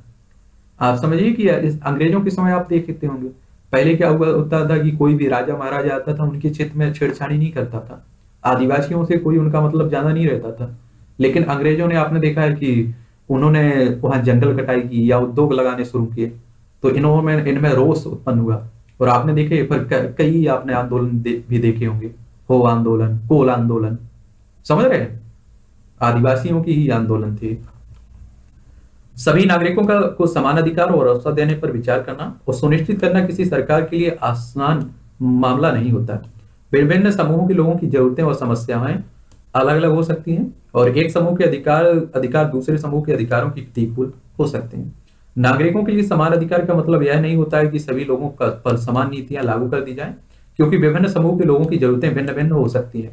अगर प्रयोजन सिर्फ़ इस, इसी नीति, ऐसी नीति बनाना नहीं है जो सभी लोगों पर एक तरह से लागू हो, बल्कि लोगों को अधिक बराबरी पर लाना है तो नीतियाँ तैयार करते वक्त लोगों की विभिन्न जरूरतों और दावों का ध्यान रखना होगा। इसी के लिए आप देखते होंगे कि आपके जब भी आपको मौलिक अधिकार मिलते हैं तो उसमें क्या कर दिया जाता है? अपवाद भी जोड़ दिया जाता है। आरक्षण का प्रावधान रखा गया है। ये अपवाद आपका एक तरह से देखने को मिलेगा। बच्चों के लिए या महिलाओं के लिए विशेष स्थिति बना दी जाती है, या विशेष सुविधा उपलब्ध करा दी जाती है। वहाँ भी एक तरह से उनकी स्थिति को देखा जाता है, उनकी ज़रूरत को देखा जाता है। क्योंकि उन्हें कौन सी सुविधाएँ मिली हुई है? आप लोगों को कौन सी सुविधाएँ मिली हुई है? आप देखते होंगे, बस में, ट्रेन में, कहीं भी आप जाते होंगे तो आरक्षित सीटें मिल जाती हैं कई बार। महिलाओं के लिए अलग हैं बुज़ुर्गों के लिए अलग हैं। तो उनकी स्थिति को देखकर आप समझिए कि उसे हम लोग मिलनी चाहिए। समझ रहे हैं आप लोग? इस विमर्श से यह स्पष्ट हो जा, जाना चाहिए कि वैश्विक स्थिति अर्थव्यवस्था और समाज में बदलाव नागरिकता के अर्थ और अधिकारों की नई व्याख्या मांग की मांग करते हैं। नागरिकता से संबंधित औपचारिक कानून स्थान बिंदु भर होते हैं। और कानूनों की व्याख्या निरंतर विकसित होती है। हालाँकि कुछ ऐसी समस्याएँ उठ सकती हैं जिनका समाधान पाना आसान ना हो, फिर भी समान नागरिक नागरिक नागरिकता की अवधारणा का अर्थ यही है कि सभी नागरिकों को समान अधिकार और सुरक्षा प्रदान करना सरकारी नीतियों का मार्गदर्शक सिद्धांत हो। यहाँ भी आपका कुछ पॉइंट है, इसे भी देख लीजिए। नागरिकता, समानता और अधिकार। सर्वोच्च न्यायालय ने मुंबई की झोपड़ियों में रहने वालों के अधिकारों के बारे में बारे में समाजकर्मी ओल्गा टेलिस की जनहित याचिका ओल्गा टेस्ट बनाम बंबई नगर निगम पर उन्नीस सौ पचासी में एक महत्वपूर्ण फैसला दिया था। याचिका में कार्यस्थल के निकट रहने की विकल्पित जगह उपलब्ध नहीं होने होने के कारण फुटपाथ या झोपड़पट्टियों में रहने के अधिकार का दावा किया गया था। अगर यहाँ रहने वालों को हटने के लिए मजबूर किया गया हो, गया तो उन्हें अजीविका भी गंवानी पड़ेगी। सर्वोच्च न्यायालय ने कहा कि संविधान की धारा 21 में जीने के अधिकार की गारंटी दी गई है। जिसमें आजीविका का अधिकार शामिल है। इसलिए अगर फुटपाथ फुटपाथ वासियों को बेदखल करना हो तो उन्हें आश्रय के अधिकार के तहत पहले वैकल्पिक जगह उपलब्ध करानी होगी। कहने का मतलब यह है कि अनुच्छेद इक्कीस के तहत जीवन जीने का अधिकार है। और याद रखिए, हमेशा अधिकार भी परिभाषित होते रहते हैं। नए नए अधिकार जुड़ते रहते हैं, आप लोग देखते होंगे। आर्टिकल 19 में भी आपने देखा है कि नई नई परिभाषा एक गढ़ी जाती गड़ी जाती रहेगी वहाँ पे। आगे हो सकता है कि कोई और अधिकार मिल जाए आप लोगों को। रोज़गार का अधिकार मिल जाए। और भी आप कहें कि और भी जो भी रहे, बिल्कुल स्वास्थ्य का पूरा फ्री मुद्दा हो जाए। अभी आप देखते हैं शिक्षा का मुद्दा है छह से लेकर चौदह वर्ष तक। ये आपका मिला हुआ है आपको छियासी में संविधान संशोधन दो हज़ार दो द्वारा। ऐसी भी व्यवस्था हो जाए कि बिल्कुल फ्री शिक्षा। कब तक? बिल्कुल शिक्षा फ्री आपकी, कभी तक, जब तक आप पढ़ते हैं। आपको तैयारी करने, सिविल सर्विस की तैयारी करने, आपको फ्री शिक्षा, फ्री तैयारी। आपको अगर कुछ और करना है, स्वास्थ्य की व्यवस्था चाहिए, चाहे आप पर पाँच लाख खर्च हो, आयुष्मान भारत के तहत आप एक परिवार पाँच लाख का फ़ायदा उठा सकता है, अगर कोई बीमारी है, इलाज करवाना है। परिवार पूरा परिवार के लिए रहती है इसकी हो सकता है कि कल ऐसी भी अधिकार आपको मौलिक अधिकार में जोड़ दिया जाए कि आपको स्वास्थ्य का अधिकार है, वो आपको पचास लाख खर्च होते हैं, एक करोड़ खर्च होते हैं, सब सरकार देगी। तो आप समझिए, इस तरह के अधिकार आगे आने वाले समय में होते रहते हैं। इसीलिए तो ना, अधिकारों के बारे में ज़्यादा कुछ कहना बड़ा मुश्किल रहता है, क्योंकि समय समय पर बदलते रहते हैं इसमें चेंज होता रहता है। नए नए अधिकार और परिभाषाएँ गढ़ी जाती हैं। अभी आपने देखा केरल में कुछ लव मैरिज का मामला हुआ था। उसके बाद यूपीपीएस यूपीएससी में एक क्वेश्चन बन गया कि आपको अगर मन मानी से शादी करनी है तो कौन सा अधिकार के तहत आप कर सकते हैं? आपने देखा होगा आर्टिकल इक्कीस दिया गया था। समझ रहे हैं? तो इस तरह के क्वेश्चन भी बनते रहते हैं। अभी यूपी सरकार में आप देख रहे होंगे कि एक नया कानून ले आ रही है कि एक जाति का दूसरे जाति से, यानी कि एक धर्म का दूसरे धर्म जाति से शादी नहीं कर सकता है। अरे भाई, ये कौन सा मामला है? आप खुद सोचिए कि हमारी मर्ज़ी है हम किसी भी शादी करें किसी से भी, है? कहीं भी किसी से भी शादी करें, किसी भी जातु समूह हो, कोई भी इसमें सरकार कहाँ दखलंदाजी? लेकिन क्या रहता है, वोट बैंक के लिए नेता कुछ भी करते रहते हैं। ये अपने बाप के नहीं हुए तो आपके क्या होंगे? समझ रहे हैं आप तो राष्ट्र राज्य की अवधारणा आधुनिक काल में विकसित हुई। तो राष्ट्र राज्य की संप्रभुता संप्रभुता और नागरिकों के लोकतांत्रिक अधिकारों का दावा सर्वप्रथम सत्रह सौ नवासी में फ्रांस के क्रांतिकारियों ने किया था।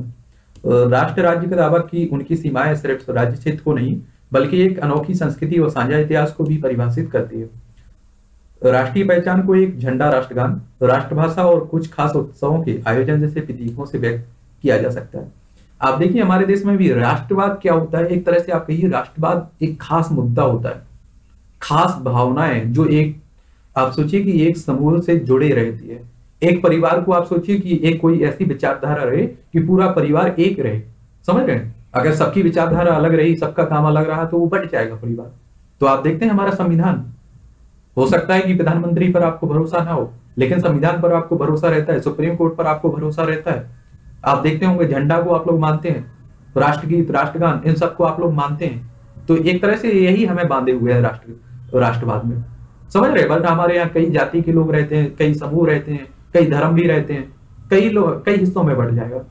आज़ादी के समय अंग्रेज़ों की और बाकी देशों के द्वारा कहा गया कि भारत दो से तीन साल में आप सोचिए कि, आप सोचिए कई टुकड़ों में बढ़ जाएगा, क्योंकि पाँच सौ पैंसठ, चौसठ, पैंसठ रियासतें थी। और सभी की इच्छा थी कि हम अलग अलग हों। जिसमें आपने देखा है सरदार वल्लभ भाई पटेल ने बहुत बड़ा योगदान किया। और हैदराबाद आपने देखा है, जूनागढ़ और जम्मू कश्मीर लास्ट तक लड़ती रही कि हम अलग रहेंगे, हम पाकिस्तान में शामिल होंगे, कोई स्वतंत्र रहना चाहता था। उस पर भी हम लोग बात करेंगे कभी, पूरा एक बहस चलेगी, देखेंगे। अधिकतर आधुनिक राज्य अपने विशेष विभिन्न धर्मों भाषा और सांस्कृतिक परंपराओं के लोगों को सम्मिलित करते हैं, लेकिन एक लोकतांत्रिक राज्य की राष्ट्रीय पहचान में नागरिकों को ऐसी राजनीतिक पहचान देने की कल्पना होती है जिसमें राज्य के सभी सदस्य भागीदार हो सके। लोकतांत्रिक देश आमतौर पर अपनी पहचान इस प्रकार परिभाषित करने का प्रयास करते हैं कि वे यथासंभव समावेशी हो, हो यानी जो सभी नागरिकों को राष्ट्र के अंग के रूप में खुद को पहचानने की अनुमति देता हो। लेकिन व्यवहार में अधिकतर देश अपनी पहचान को इस तरह परिभाषित करने की ओर अग्रसर है। जो कुछ नागरिकों के लिए राष्ट्र के लिए राष्ट्र के साथ अपनी पहचान कायम करना अन्यों की तुलना में आसान बनाता है। या राष्ट्र के लिए भी अन्य अन्यों की तुलना में कुछ लोगों को नागरिकता देना आसान कर देता है। या आप्रवासियों का देश देश होने पर गौरव, गौरवान्वित होने वाले संयुक्त राज्य अमेरिका के बारे में भी वैसे ही सच है, जैसे कि किसी अन्य देश के बारे में। और यही कारण है कि हमने संविधान का रूप दिया हुआ है। आप सोचिए कि हमारे यहाँ मुस्लिम रहते हैं, हिंदू रहते हैं, सिख, ईसाई, जैन, बौद्ध। आप समझिए, इनमें अगर आप सोचिए, इनकी सबके अलग अलग धर्म है अलग अलग भावनाएँ हैं। इनकी भावनाओं की कदर नहीं की जाती तो ये अलग अलग हो जाते हट जाते। समझ रहे हैं आप लोग? कई हिस्सों में बट जाते। इसलिए आपने देखा, संविधान दिया गया है, सर्वोच्च न्यायालय है, सुप्रीम कोर्ट है। कम से कम आपको अगर किसी पर भरोसा नहीं है तो सुप्रीम कोर्ट पर तो भरोसा है। उदाहरण स्वरूप उदाहरण स्वरूप फ्रांस ऐसा देश है जो धर्मनिरपेक्ष और समावेशी होने का दावा करता है। वह यूरोपीय मूल के लोगों को ही नहीं बल्कि उत्तर अफ्रीका जैसे अन्य इलाकों से आए नागरिकों को भी अपने में शामिल करता है। संस्कृति और भाषा इसकी राष्ट्रीय पहचान की महत्वपूर्ण विशेषता है और सभी नागरिकों से अपेक्षा की जाती है कि वे अपने जीवन के सार्वजनिक पहलुओं में से मैं इस इन इस फ्रांसीसी भाषा संस्कृति को से आत्मसात हो जा, जाए। हाँ वे अपनी निजी जीवन अपनी व्यक्तिगत आस्थाओं और रिवाजों को बनाए रख सकते हैं। यह एक समुचित नीति लग सकती है, लेकिन यह परिभाषित करना हमेशा आसान नहीं होता है कि वे क्या सार्वजनिक है और क्या निजी है। और इसमें कुछ विवादों को जन्म दिया है। धार्मिक विश्वास नागरिकों के निजी क्षेत्र का मामला माना है। एक बात और याद रखिए। आप ही सोचिए, हमारे यहाँ भी तो यही है कि आपके जो भी आप हिंदू हैं, मुस्लिम हैं, जैन हैं, कोई भी धर्म के आपसे यही उम्मीद की जाती है कि आप अपने धर्म को मानिए। लेकिन ऐसा मत करिए जो देश की एकता, अखंडता को नुकसान पहुँचाए, या दूसरे के धर्म को आप समझिए कि नुकसान पहुँचाए। समझ रहे? तो ये उम्मीद हमारे नागरिकों से की जा सकती है और सभी से, सरकार हमारी सभी से उम्मीद कर सकती है। समझ रहे? चिंतन मंथन। जिम्बाब्वे में भूमि वितरण के मामले में प्रकाशित सरकारी आंकड़ों के अनुसार वहाँ लगभग चवालीस, यानी कि आप सोचिए चार हज़ार चार सौ गोरे परिवारों के पास लगभग एक करोड़ हेक्टर भूमि है, या देश की कुल कृषि भूमि योग्य का बत्तीस प्रतिशत हिस्सा है। लगभग दस लाख काले किसानों के पास केवल एक दशमलव छह करोड़ हेक्टर भूमि है, जो कुल का अड़तीस प्रतिशत भाग है। गोरे लोगों के पास जो ज़मीन है वो सिंचित उपजाऊ है, जबकि काले लोगों के पास कम उपजाऊ और असिंचित ज़मीन है। भूस्वामियों के इतिहास को खोजने से साफ़ पता चलता है कि लगभग सौ वर्ष पूर्व गोरे लोगों ने उपजाऊ ज़मीन स्थानीय निवासियों से अपने कब्जे में ले ली और गोरे लोग जिम्बाब्वे में पीढ़ियों से रह रहे हैं और अब स्वयं को जिम्बाब्वे वासी समझते हैं। जिम्बाब्वे में गोरे की गोरों की आबादी कुल जनसंख्या की ज़ीरो दशमलव ज़ीरो छह प्रतिशत है। उन्नीस में जिम्बाब्वे को राष्ट्रपति रॉबर्ट मुगाबे ने 1500 बड़े फार्मों पर कब्जा करने की योजना की घोषणा की थी।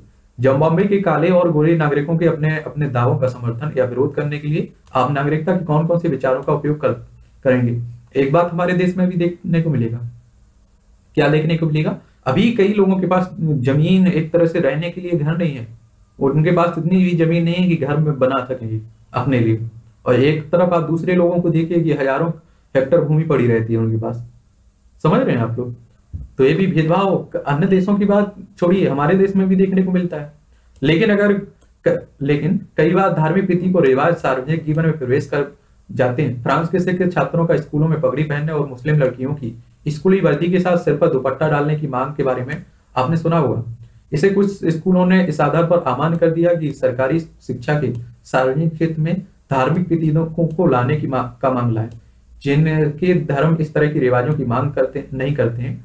उनको निसंदेह ऐसी समस्या का सामना नहीं करना पड़ता। है साफ़ तौर पर राष्ट्रीय संस्कृति में शामिल होना कुछ समूहों के लिए अन्य की अपेक्षा आसान होता है।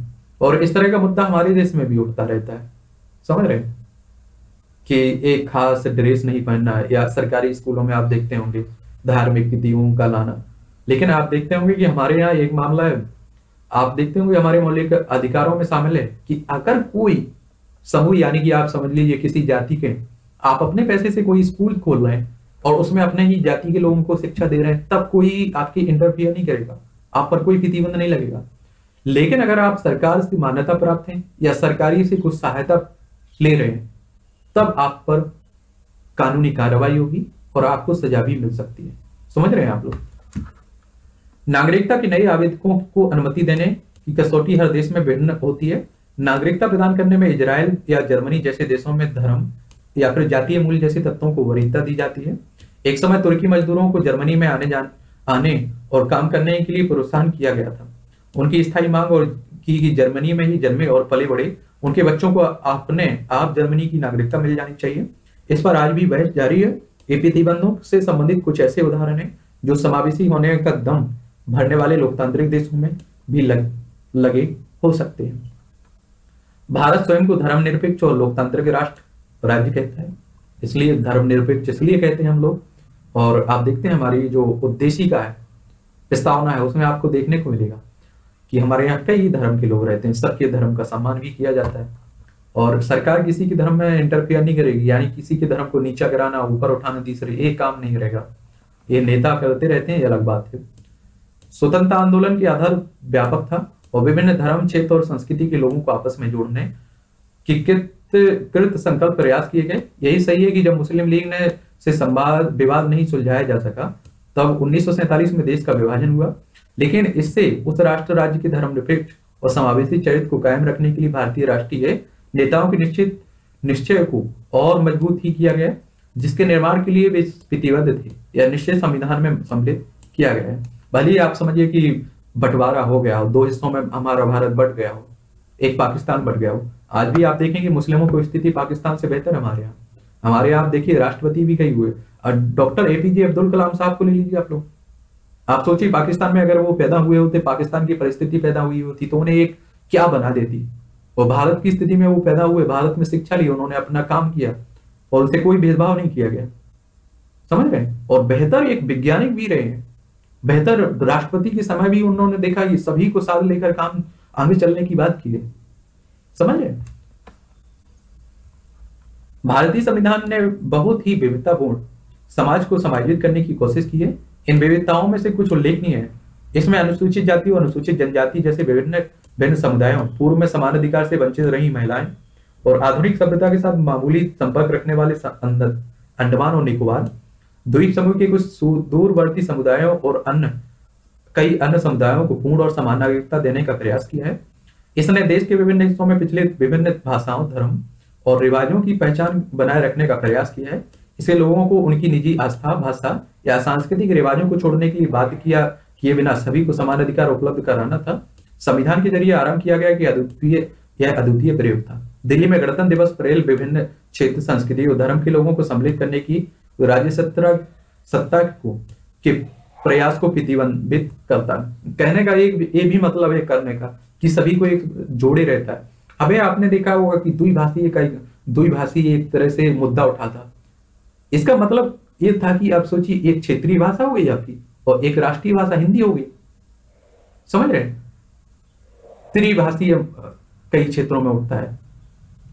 भारत सरकार ने त्रिभाषीय सूत्र लाया था कि एक आपकी क्षेत्रीय भाषा, एक हिंदी भी जोड़ लेनी चाहिए, उसमें एक इंग्लिश होनी चाहिए।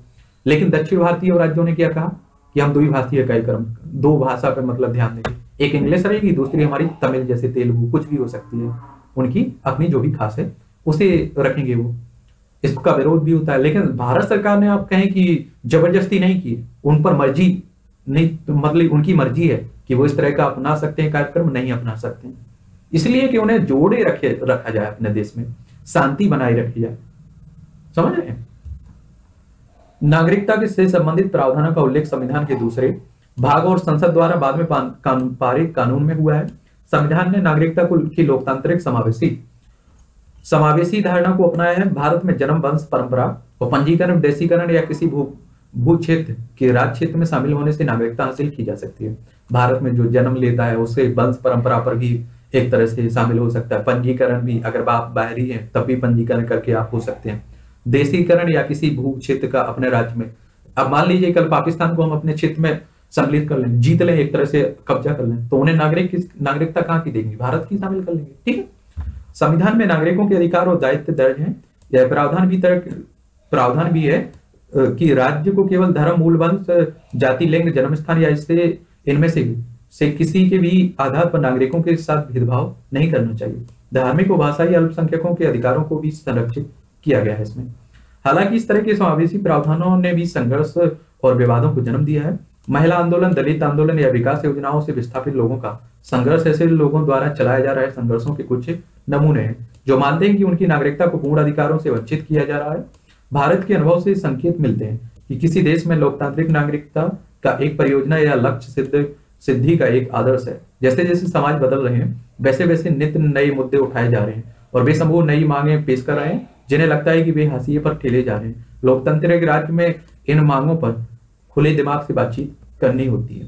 एक तो मैं मानता हूँ, देखिए 1900 अगर मैं नेताओं उस समय के जो भी नेता थे, उनकी अगर एक गलती मानता हूँ, इतनी सी गलती मानता हूँ कि उस समय जाति प्रथा में बिल्कुल खत्म कर देनी चाहिए। अगर संभव हो सकता था तो इतना करना चाहिए था। मैं इसलिए बोल रहा हूँ कि आप सोचिए, कहीं जापान जाएँगे आप लोग तो जापानी देखने को मिलेगी, चाइना में चीनी देखने को मिलेगी, अमेरिका में अमेरिकी देखने को मिलेगी, समझ रहे रसिया में रसियन देखने को मिलेगी। और हमारे देश में अगर तुमसे पूछा कौन हो, हम हिंदू हैं, हम मुस्लिम हैं, हम ए यादव हैं, हम इस जाति के, हम ठाकुर हैं, हम पंडित हैं। समझ रहे आप सोचिए, हम ये नहीं कहते हैं, हम भारतीय हैं। हज़ार हमारी पहचान बताने के लिए, लेकिन हम उस मुद्दे को चुनते हैं जो एक तरह से विवाद खड़ा करती है। और आप सोचिए कि अगर आपके बच्चे को, मैं आरक्षण के विरोध में इसलिए भी नहीं हूँ। देखिए, आर्थिक रूप से आरक्षण मिलना चाहिए, इसमें कोई दोहरा नहीं है, क्योंकि सामान्य जाति में अभी आपको देखने को मिलेगा कि बहुत गरीब है। और एक तरह से आप समझिए कि दलितों में आपको देखने को मिलेगा, कई बड़े सक्सेस भी हो गए। तो क्रेमिलियर की अवधारणा आई हुई थी, लेकिन ये ओबीसी तक सीमित है। समझ रहे हैं? मैं मानता हूँ कि आपके बच्चे को, उस बच्चे को, झोपड़ी वाले बच्चे को, दोनों को शिक्षा, स्वास्थ्य, बचपन से ही उन्हें सभी सुविधाएँ दोनों को बराबर देनी जानी चाहिए। और उसके आगे मुझे नहीं लगता है कि आपको आरक्षण की ज़रूरत पड़ेगी किसी को। वो खुद इतना सक्षम हो जाएगा कि अपने आप आगे बढ़ जाएगा। और वो भी आपसे ही कंपटीशन करेगा। सार्वभौमिक नागरिकता की बात करें तो जब हम शरणार्थियों या फिर अवैध आप्रवासियों के बारे में सोचते हैं तो मन में अनेक छवियाँ उभरती हैं। उसमें एशिया या अफ्रीका के ऐसे लोगों की छवि हो सकती है, जिन्होंने यूरोप या अमेरिका में चिरी, चोरी छिपे घुसने के लिए दलाल को पैसे का भुगतान किया हो। इसमें इसमें जोखिम बहुत है, लेकिन वे प्रयास में तत्पर देखते हैं। एक अन्य छवि युद्ध या अकाल में विस्थापित लोगों की हो सकती है। इस तरह की छवियाँ अक्सर टेलीविज़न पर दिखाई जाती है। सूडान के डरफर क्षेत्र के शरणार्थी फिलिस्तीनी, बर्मा या बांग्लादेशी शरणार्थी जैसे कई उदाहरण हैं। ये सभी ऐसे लोग हैं जो अपने ही देश में, देश या पड़ोसी देश में शरणार्थी बनने के लिए मजबूर किए गए। हमारे देश में भी तो आप देखते हैं, बांग्लादेश से, बर्मा से, यानी कि बर्मी, यानी कि कहने का मतलब है, म्यांमार से आए हुए लोग हैं। और यही मुद्दा उठा हुआ है अभी हमारे देश भी, इस पर हमारी जो सरकार है शासन है एक तरह से, आप कहिए। देखिए, सरकार कहने का मतलब होता है भारत सरकार। अब आप मोदी सरकार नहीं कह सकते, ये गलत शब्द है। आंसर राइटिंग जब आप कर रहे हो तो आप देखिए एक मोदी प्रशासन लिखा करिएगा। अभी अमेरिका के कोई भी न्यूज़ पेपर उठा के देखिए, आप कहती थी, आप एक बराक बराक ओबामा प्रशासन या डोनाल्ड ट्रंप प्रशासन आप देखिए, इस तरह की शब्द जोड़े जाते हैं वहाँ। सरकार, देखिए, भारत सरकार होती है, अमेरिकी सरकार होती है। ये तो पाँच साल बाद हट जाएँगे, दस साल बाद हट जाएँगे, बीस साल बाद हट जाएँगे। लेकिन भारत तो हमेशा रहेगा हम अक्सर मान लेते हैं कि किसी देश की पूर्ण सदस्यता उन सबको उपलब्ध होनी चाहिए जो सामान्यता उन, उस देश में रहते हैं और काम करते हैं, या जो नागरिकता के लिए आवेदन करते हैं। ये अनेक देश वैश्विक और समावेशी नागरिकता का समर्थन करते हैं, लेकिन नागरिकता देने की शर्तें भी निर्धारित करते हैं। ये शर्तें आमतौर पर देश के संविधान और कानून में लिखी होती हैं। आवांछित अंकुतकों को नागरिकता से बाहर रखने के लिए राज्य सत्ताएँ ताकत का प्रयोग भी करती हैं। हालाँकि प्रतिबंध, दीवार और बाढ़ लगाने के बावजूद आज भी दुनिया के बड़े पैमाने पर लोगों का देशांतरण होता है। युद्ध उत्पीड़न, अकाल या अन्य कारणों से लोग विस्थापित होते हैं। अगर कोई देश उन्हें स्वीकार करने के लिए राज़ी नहीं होता है तो वे घर नहीं लौट सकते तो वे राज्यविहीन या शरणार्थी हो जाते हैं। वे शिविरों शिविरों में या अवैध प्रवासी के रूप में रहने के लिए मजबूर किए जाते हैं।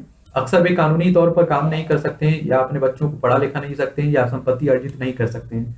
समस्या इतनी विकराल है कि संयुक्त राष्ट्र ने शरणार्थियों की जाँच करने और मदद करने के लिए उच्चायुक्त नियुक्त किया है। हमारे देश में भी एक बहुत बड़ी प्रॉब्लम बनी हुई है शरणार्थियों की, ठीक है?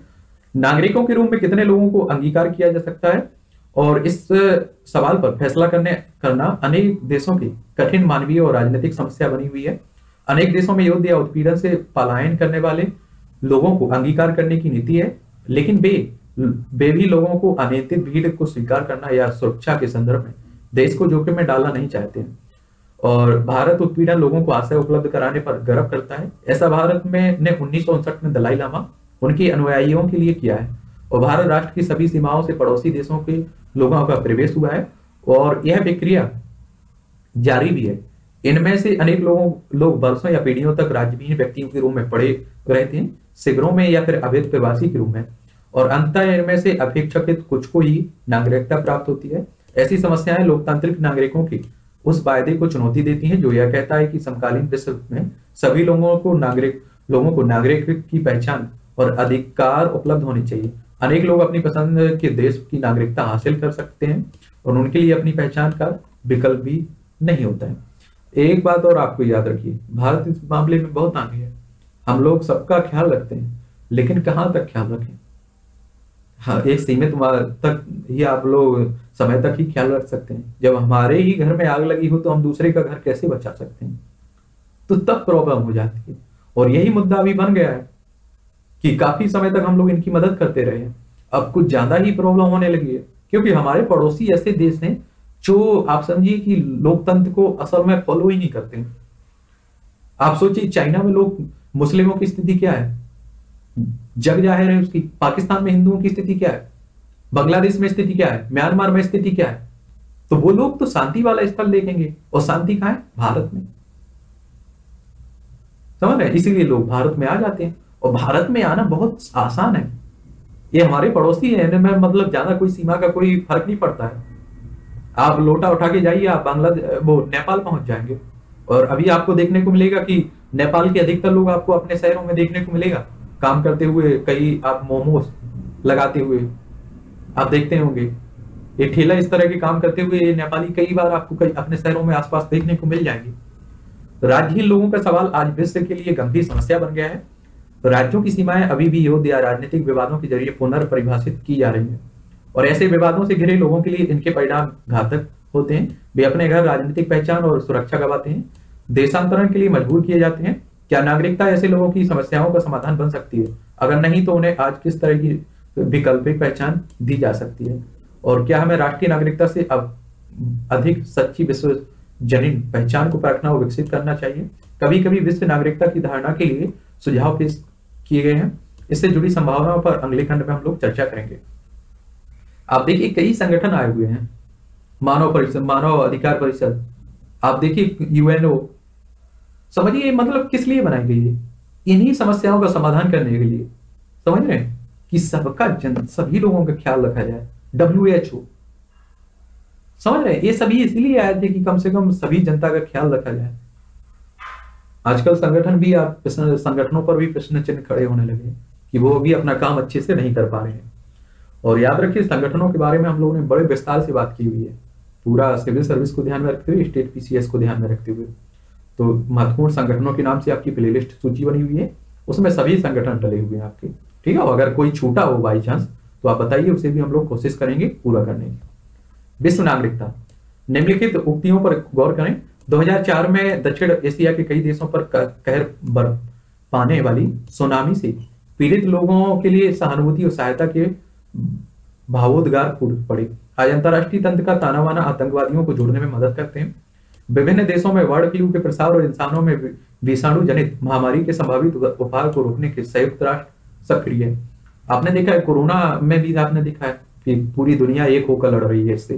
समझ रहे हैं आप लोग? में क्या साझा है? वे उस दुनिया के बारे में क्या बताती हैं जिनमें हम रहते हैं?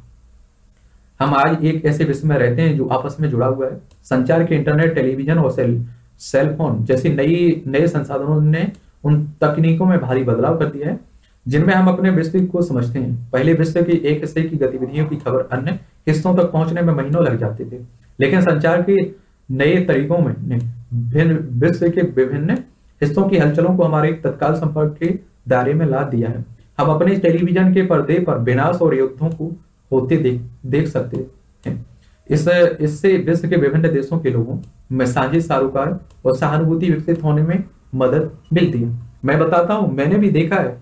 आप समझिए कि पहले हमारे घर में फ़ोन नहीं हुआ करते थे। आप सबके घर में भी फ़ोन हम लोग बहुत प्रॉब्लम में रहे हैं। तो उस समय हमारे अगर पिताजी बाहर भी जा रहे हैं या कोई घर का मेंबर बाहर भी जा रहा है तो जब वो आएगा तभी खबर मिलेगी कि वहाँ की क्या सिचुएशन मतलब क्या वहाँ चल रहा है। वहाँ उनका क्या हाल है? परिवार का क्या हाल है? आज आप देखिए, एक मिनट में आप कॉल करते हैं, जान लेते हैं। एक समय ऐसा था कि एटीएम कार्ड नहीं था मेरे पास। तो मैं महीने का और कभी कभी मैं साल भर जाता था पाँच छह महीने के लिए कहीं भी पढ़ने के लिए तो मैं इकट्ठा पैसा ले जाता था। समझ रहे मैं मतलब इतना, आप सोचिए, इस तरह से प्रॉब्लम रहती थी, क्योंकि हर किसी के पास एटीएम की सुविधा नहीं थी। छोड़िए बैंक अकाउंट की भी सुविधा नहीं थी। समझ रहे आज तो आपके पास हर सुविधा है।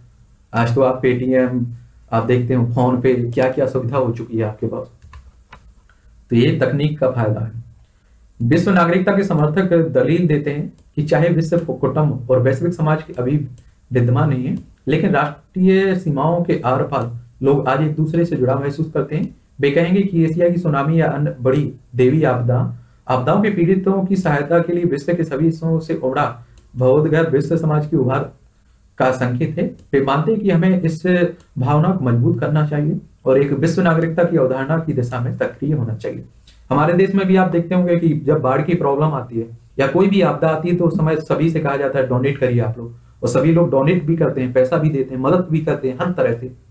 कोरोना महामारी में भी आपने देखा है कि किस तरह से पीएम फंड बनाया गया और कितने बड़ी मात्रा में लोगों ने मदद की है एक तरह से। तो राष्ट्रीय नागरिकता की अवधारणा यह मान, मानती है कि हमारी राजसत्ता हमें यह वह सुरक्षा और अधिकार दे सकती है जिनकी हमें आज विश्व में गरिमा के साथ जीने के लिए ज़रूरत है। लेकिन राजसत्ता के समक्ष आज ऐसी अनेक समस्याएँ जिनका मुकाबला वे अपने बल पर नहीं कर सकती हैं। क्या इस पर इस परिस्थिति में राजसत्ता द्वारा किए गए व्यक्तिगत अधिकार लोगों की स्वतंत्रता की सुरक्षा करने के लिए पर्याप्त पर्याप्त है? और क्या, या फिर क्या मानव अधिकार और विश्व नागरिकता की अवधारणा की ओर बढ़ने का समय आ गया है? एक बात और आपको बताऊँ यहाँ। कौन सी बात? बात यह है कि आप खुद सोच के देखिए कि जो शरणार्थी या जो अप्रवासी बाहर से लोग आए हुए हैं, अगर इन्हें बेहतर शिक्षा मिले, स्वास्थ्य की व्यवस्था मिले और ये लोग कल आई बन जाए या आप सोचिए डॉक्टर बन जाए बेहतर इंजीनियर बन जाए वैज्ञानिक बन जाए तो ये हर देश चाहेगा कि हमारे यहाँ ये काम करने के लिए आए। लेकिन जब आप उपजाऊ एक तरह से कहिए आप देखते होंगे कि उपजाऊ ज़मीन होती है वहाँ तो हर सर, हर व्यक्ति उसके लिए लड़ता रहता है कि ये हमारी है हमारी है। और जहाँ अनुपजाऊ ज़मीन डली हो उसके लिए कोई नहीं पूछता है। समझ रहे कुत्ता भी वहाँ नहीं पूछता है कि ये किसकी है। तो ये देखा जाता है। तो जनसंख्या का एक फ़ायदा है। लेकिन उस जनसंख्या को हम लोग फ़ायदा उठा पा रहे हैं या नहीं? हमारे देश में देखिए आप लोग की अधिकतर युवा जनसंख्या है लेकिन इसका हम लोग फ़ायदा उठा पा रहे हैं, बिल्कुल नहीं। एक परिवार में आप एक परिवार का उदाहरण ले सकते हैं, देश का, राज्य का, छोड़िए, जिलों का छोड़िए। एक परिवार में मान लीजिए पाँच भाई हैं। पाँचों को अगर शिक्षा नहीं दी जाए, स्वास्थ्य व्यवस्था ना रहे तो वो आप देखेंगे दो से तीन हज़ार, चार हज़ार, पाँच हज़ार रुपये में काम करते रहेंगे महीने भर। अभी भी मैं देखता हूँ, ढाई से तीन हज़ार रुपये में भी लोग काम करने के लिए तैयार हैं आपके घर में। समझ रहे इतनी बुरी स्थिति है। वहीं आप सोचिए कि अगर उस पाँचों बच्चों को शिक्षा दी जाए, स्वास्थ्य व्यवस्था दी जाए, वो पाँचों पाँच क्षेत्र में पहुँच जाए कल तो उस परिवार की स्थिति को देख सकते हैं आप लोग, उस राज्य की स्थिति को देख सकते हैं आप लोग, उस देश की स्थिति को देख सकते हैं कि कहाँ पहुंचेगा। तो हमें ये प्रावधान करने होंगे शिक्षा देने होगी, स्वास्थ्य देना होगा, उन्हें प्रशिक्षण देना होगा रहते हैं, तभी हम इनका फ़ायदा भी उठा सकते हैं। और देश बहुत आगे जा सकता है, लेकिन ये दूर दूर तक हमें नज़र नहीं आता है, क्योंकि हमारे नेता जिस कैटेगरी के नेता हैं, उससे ये उम्मीद दूर दूर तक नहीं की जा सकती है। विश्व नागरिकता की धारणा के आकर्षणों में से एक यह है कि इससे राष्ट्रीय सीमाओं के दोनों ओर की उन समस्याओं का मुकाबला करना आसान हो सकता है, जिसमें कई देशों की सरकारों और लोगों की संयुक्त कार्रवाई ज़रूरत होती है। उदाहरण के इससे प्रवासी और राजविहीन लोगों की समस्या का समान समाधान पाना आसान हो सकता है, या फिर कम से कम उनकी बुनियादी अधिकार और सुरक्षा सुनिश्चित की जा सकती है। चाहे वे जिस किसी देश में रहते हो। पिछले खंड में हमने देखा कि एक देश के भीतर की समान नागरिकता को, सामाजिक आधार, आर्थिक असमानता या अन्य मौजूदा समस्याओं से खतरा हो सकता है। इन समस्याओं का समाधान अंततः सिर्फ़ संबंधित समाज की सरकार और जनता ही कर सकती है। इसलिए लोगों के लिए आज ये, आज एक राज्य की पूर्ण और समान सदस्यता महत्वपूर्ण है। लेकिन विश्व नागरिकता की अवधारणा हमें याद दिलाती है कि राज्य राष्ट्रीय नागरिकों को इस समझदारी से जोड़ने की ज़रूरत है। कि हम आज अंतर संबंध विश्व में रहते हैं और हमारे लिए यह भी ज़रूरी है कि हम विश्व के विभिन्न हिस्सों के लोगों के साथ अपने रिश्तों मज़बूत करें रिश्ते मज़बूत करें और राष्ट्रीय सीमाओं के आर पार के लोगों और सरकारों के साथ काम करने के लिए तैयार हों, मिलजुल कर काम करें। ठीक है? ये आपके क्वेश्चंस दिए गए हैं इसी पार्ट से। इसे भी पढ़ते रहिएगा। और इसकी भी पीडीएफ आपकी टेलीग्राम पर डली हुई है। एक बार बात बताऊँ आप लोग इन्हें विस्तार से पढ़ लीजिए एनसीईआरटी को एक से दो बार। जब हम लोग स्पेशल बुक्स पढ़ेंगे, वहाँ आपको बड़े अच्छे से बता दूँगा आर्टिकल जो भी है। यहाँ केवल एक आपकी समझ विकसित करने के लिए बताया जा रहा है। ठीक है? चलिए, आगे एक बहुत ही महत्वपूर्ण टॉपिक है आपका। और जितना कहें, उतना आप समझिए कि राष्ट्रवाद, ये आज की नई सरकार आई हुई है, तब से ज़्यादा मुद्दा बना हुआ है राष्ट्रवाद का। तो जानेंगे राष्ट्रवाद क्या है, और असल में राष्ट्रवाद क्या होता है। और ये नेता किस तरह से अपना वोट बैंक बटोरते हैं इसे भी हम लोग देखेंगे। चलिए तो पढ़ते रहिए एंजॉय करते रहिए।